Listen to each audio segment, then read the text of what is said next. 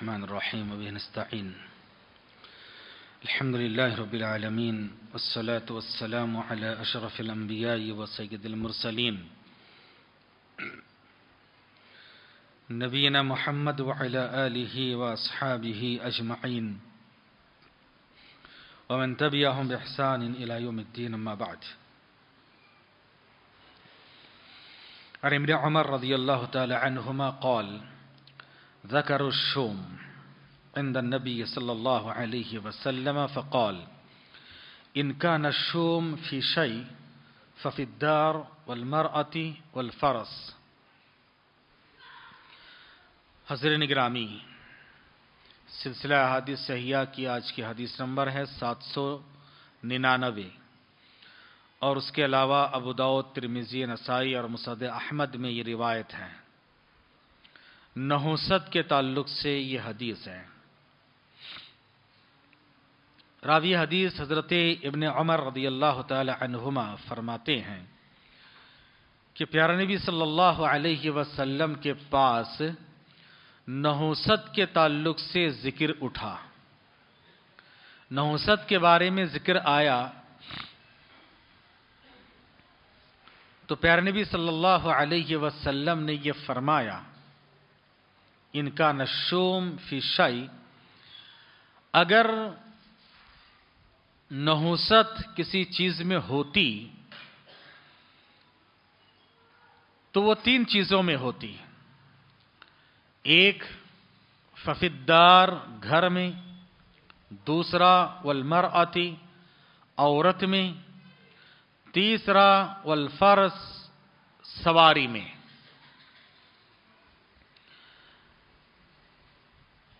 इसी तरह के रिवायत से बुखारी में भी है, लेकिन उसके अल्फाज थोड़ा सा हटके हैं। यहाँ पर अल्लाह के रसूल ने फरमाया, अगर किसी चीज़ में नहुसत होती तो इन तीन चीज़ों में होती। बाज अहल इल्म ने इसका मफहम यह बयान किया कि अगर होती तो इसमें होती, नहीं है।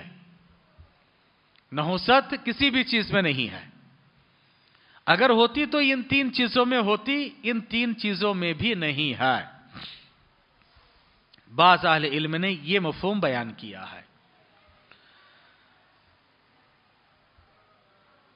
बुखारी के रिवायत में बाज अल्फाज ऐसे मिलते हैं, जिनमें कतयत के साथ है, यानी यकीन के साथ बताया गया, यहाँ है, अगर होती न हो सत तो इन तीन चीज़ों में होती।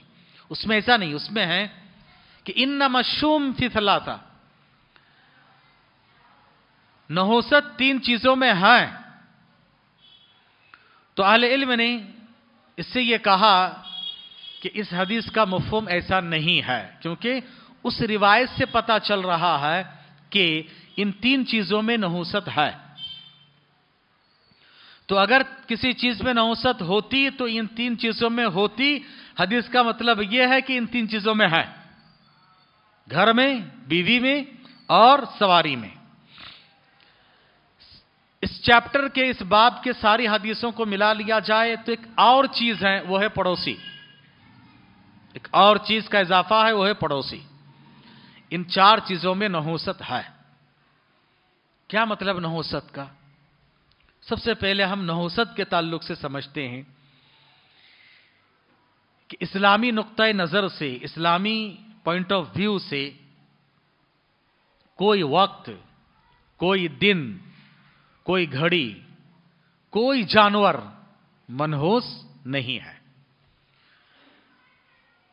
असल में नहुसत अगर है तो इंसान की बदआमालियाँ, इंसान के गुनाह, ये बहुत बड़ी मनहूस चीज़ है, इंसान का गुनाह। इससे बढ़ के नहुसत कुछ और नहीं है, और कुछ दूसरी हाई भी नहीं है। एक ही चीज़ मनहूस है इंसान का गुना और ये जो तीन चार चीज़ें हैं, इनमें भी इंसान के गुना ही कार फरमा है। वो कैसे मैं आपको रिलेट करके सुनाता हूँ। पहली बात, कि नहुसत हम और आप जानवरों में ढूंढते हैं। उल्लू बोला, कुछ हो जाएगा। सामने से बिल्ली गुजर गई, अब तो काम करना नहीं है, हा? कोई अंडा फोड़ के डाल दिया है, हम उसको जो है पार करके चले गए, उसको छलांग लगा के चले गए, वहाँ उसको यहाँ की जबान में उंगल के चले गए तो अब तो मसला कुछ हो जाएगा। याद रखिए, इस्लाम में ऐसा कुछ है नहीं है। कोई जानवर मनहूस नहीं है। हाँ, शरीयत ने यह कहा कि देखो चंद जानवर इंसान के लिए नुकसानदेह हैं, जहरीले हैं, उनको मारो। सांप, बिच्छू चिपकली गिरगुट, काटने वाला कुत्ता, कौवा, ये सब चूहा, फासिक जानवर है, चील, इनको मारो। क्योंकि इनसे, इनके ज़रिए से इंसान को नुकसान है। इंसानी जान को खतरा है, इसलिए इनको मारो। लेकिन ये मनहूस नहीं है। और एक अजीब तमाशा है। शरीयत ने जिन जानवरों को मारने का हुक्म दिया है, वही जानवर अब देखेंगे जो शैतान के परस्तिश करते उनके पास ये जानवर सब के सब मुकद्दस हैं। कोई वक्त मनहूस है? वक्त के ताल्लुक से जैसे हम लोग सफ़र का महीना भी गुजरा है। और इतने बताने के बावजूद भी सफ़र के महीने में कोई निकाह नहीं होता है। मैं तो यहाँ के पंद्रह साल की लाइफ में देख रहा हूँ कि हर महीना तकरीबन निकाह होते रहते हैं लास्ट महीना एक भी निकाह नहीं हुआ। सफ़र का महीना है अच्छा काम शुरू नहीं करना, निकाह नहीं करना। ये गैर मुसलिमाना तस्वुर हमारे दिमाग में है। नबी ने कितने अच्छे अच्छे काम सफ़र के महीने में किए हैं। कोई महीना, कोई वक्त, मंगल का दिन है, काम शुरू नहीं करना है। हाँ बोलते नहीं बोलते। मुहर्रम के दस दिन में मातम मनाना, शोक मनाना अच्छा काम शुरू नहीं करना अच्छा खाना नहीं है। ये सब गलत बातें। कोई वक्त मनहूस नहीं है। कुरान में एक आयत आती है कि अल्लाह ताला ने कौम आद और समूद पर अजाब भेजा है और उसके ताल्लुक से एक लफ्ज इस्तेमाल किया, फ़ी अयाम नहिसात, मनहूस अयाम में भेजा। अब क्या बोलोगे भाई? क्या हज़रत अब तक बोल रहे थे, कोई वक्त मनहूस नहीं है, तुम्हें बोल रहे तुम्हें नाच रहे तुम्हें गा रहे बोल के बोलते, नहीं। फिर अयाम नहिसात, मनहूस अयाम में उन पे अजाब भेजा गया। अल इल्म ने लिखा है, नहिसात, इसी को हम बोलते हैं मनहज सलफ मेथोडोलॉजी ऑफ़ सलफ। अकीदे के सारा मसला में आपको दो अल्फाज में समझा देता हूँ। बुनियादी बात क्या है? तीन चीज़ों की मारिफत को कहा जाता है। दीन के उसूल व मरातिब में रब की मारिफत, नबी की मारिफत, दीन इस्लाम की मारिफत। ये जो नहीं जाना है, वो मुसलमान है, ये नहीं है। अब रब की मारिफत ये क्या है? ये हमारा बिलीव और फेथ है, डॉक्ट्राइन है। ये बिलीव और फेथ है, रब की मारिफत। इस्लाम की मारिफत, दीन की मारिफत क्या है? ये मेथोडोलॉजी है कि आपको मेथड कौन सा फॉलो करना है? इस्लाम की मेथड फॉलो करना है। कैसे फॉलो करना है? नबी की मारिफत, ये आइडियोलॉजी है। बात समझ आ गई? ये बिलीव और फेथ है रब की मारिफत। इस्लाम की मारिफत, ये आपके लिए मेथोडोलॉजी है। और इस मेथड को कैसे अप्लाई करना है? नबी से, साहबा से ले लो, ये आइडियोलॉजी है। हमारे लिए आइडियल कौन है? सारा मसला खत्म देखो। यही इस्लाम का मनहज है कि साहबा और ताबीन ने जिसको नहीं समझा, हम उसको नहीं समझ सकते। नहीं सात की तफसीर में आल इल्म, हम अगर अपने दिमाग से समझना चाहें मुझे ऐसा लगता है, मेरी समझ में, नहीं, आपकी, मुझे लगने से कुछ नहीं होता है। आपको लगने से, मुझे लगने से कुछ नहीं होता है। ये अल्लाह, उसके रसूल, अल्लाह ने रसूल पे नाजिल फरमाया और रसूल ने सहाबा को तरबियत दी। सहाबा ने किया या नहीं? सहाबा ने समझा या नहीं? नहीसात के एक माना होता है, एक तर्जमा होता है, मुतवालियात, यानी मुसलसल। है ना? सात दिन, आठ रात, आठ दिन, सात रात, ऐसे अल्लाह ताला ने उन पर मुसलसल समानियत अयाम हसूमा, ये हसूमा यानी मुसलसल उन पर जो दिन रात अजाब उन पर आया तो ये मुसलसल के माने में है। और बाज में लिखा, अगर नहीं सात मान भी ले मनहूस के माने में तो वो उनके हक में मनहूस। क्यों? उनके गुनाहों के सबब। गुनाहों के सबब। इसीलिए मासबिन जबल रदी अल्लाह तु फरमाते हैं अवसानी खलीली बेआशरी कलीमात। प्यारे नबी सल्लल्लाहु अलैहि वसल्लम ने मुझे दस बातों की वसीयत की। उनमें से आखिर एक बात कहा कि देखो कवल मासिया फ़ैन बिल मासिया हल्ला अल्लाह की नाफरमानी और गुनाह से बचो, क्योंकि ये ऐसी नहुसत है, इसकी वजह से अल्लाह का अजाब आता है। तो उन पर अल्लाह का अजाब क्यों आया? उनके काले करतूत के नतीजे में वो अयाम मनहूस हुए हैं। एक और बात इसको समझने के लिए। कौम आद, समूद कौम लूत, जहाँ पर आज आज का ही कानून है, नबी ने फरमाया कि देखो, जहाँ पर अल्लाह का अजाब आया, वो सरजमीन अब मनहूस है, अब मनहूस है वो सरजमीन। वहाँ से गुजरते हुए, रोते हुए, तेज़ी के साथ गुजर जाओ, इबरत हासिल करते हुए तेज़ी से गुजर जाओ, क्योंकि अल्लाह का गैज गजब इस सरजमीन पर नाजिल हुआ है। हमारा सवाल यह है यह सरजमीन कस्ट और मनहूस कब बनी? उसी सरजमीन में तो अल्लाह ने नबियों को भेजा है। है ना? अल्लाह ने अंबिया को भेजा था, लेकिन यह सरजमीन मनहूस कब हुई? इंसान के गुनाहों की वजह से। इंसान के गुनाह असल नहूसत है। से बुखारी की हदीस है, प्यारा नबी सल्लल्लाहु अलैहि वसल्लम ने फरमाया इदामा तलफाजिर जब एक गुनेगार मरता है, तस्तरीह मिनहुल इबाद बिलाद दवाब तो उसकी गुनाह, उनके, उसके गुनाहों की नहूसत इतनी ज़्यादा हो रही थी कि गुनेगार जब मरता है, एक गुनेगार के मरने की वजह से जानवर, चरिंदे, परिंदे, दरिंदे इंसान यहाँ तक के शहर, फिजा और माहौल को राहत मिलती है। राहत मिलती है। क्यों? उसके गुनाह की नहोसत हो रही थी।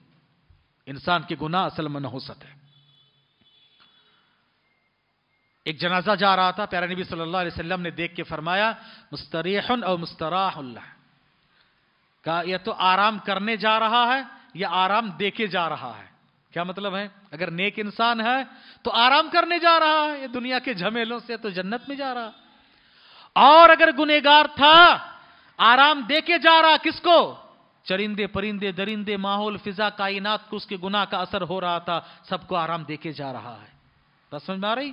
शायद मैं समझा पा रहा हूँ आपको कि इंसान के गुना असल न हो सकता है। अब आइए इस हदीस को समझते हैं इस बैकग्राउंड में।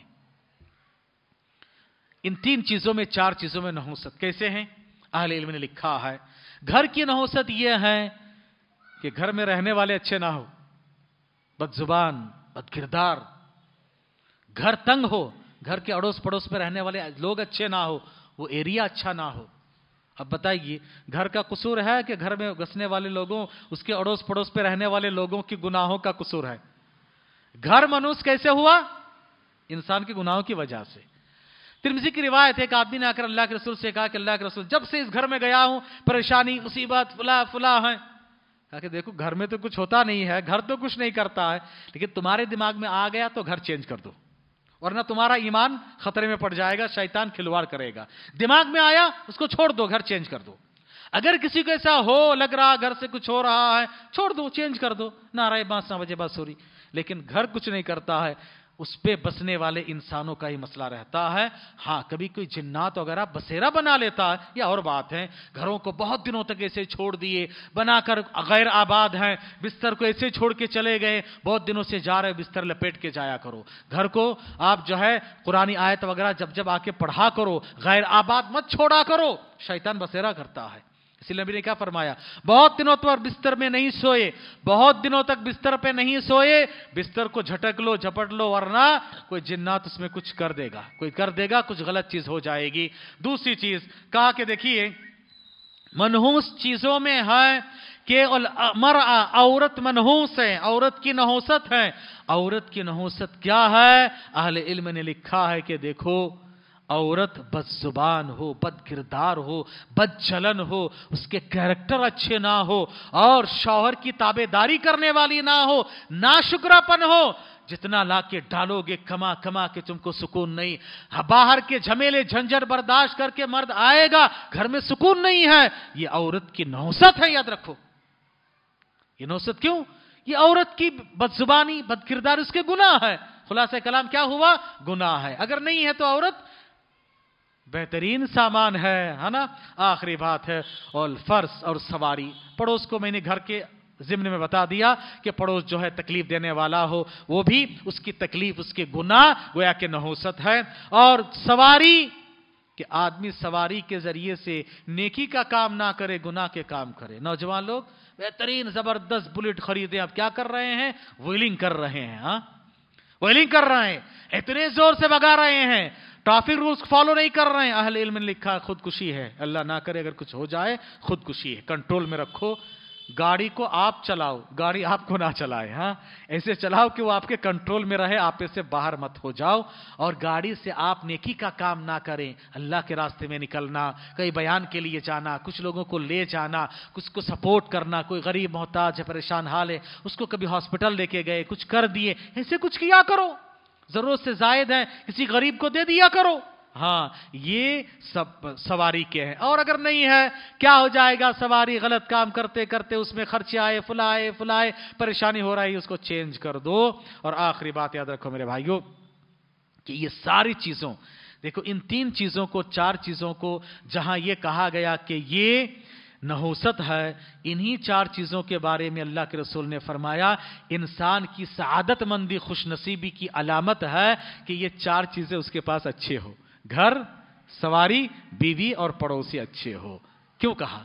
एक तो कहा कि ये अगर अच्छे मिल जाए, दुनिया का सबसे खुशनसीब इंसान है।